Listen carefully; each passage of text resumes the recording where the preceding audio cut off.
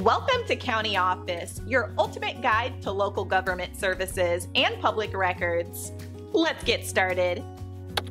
How do you pay tax on capital gains? Yen capital gains tax applies when you profit from selling an asset. This can include stocks, bonds, real estate, and other investments.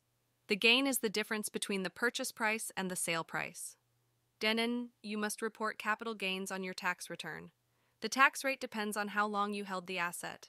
If you held it for more than a year, it is a long term capital gain. Long term capital gains usually have lower tax rates.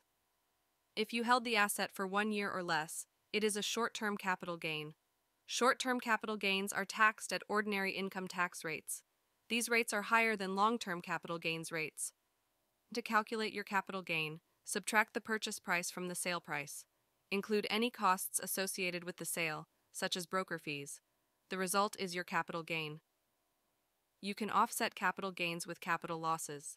If your losses exceed your gains, you can use the excess loss to offset up to $3,000 of other income. Any remaining loss can be carried forward to future years. And certain assets are exempt from capital gains tax. For example, the sale of your primary residence may qualify for an exemption. Specific requirements must be met to qualify for this exemption and keep records of your transactions. Accurate records help ensure you report your gains and losses correctly. The IRS requires you to keep these records for at least three years.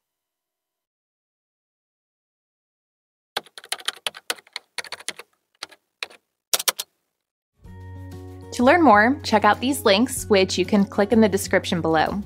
And feel free to comment your questions. We're here to help.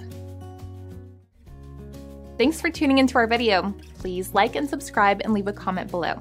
See you in the next video.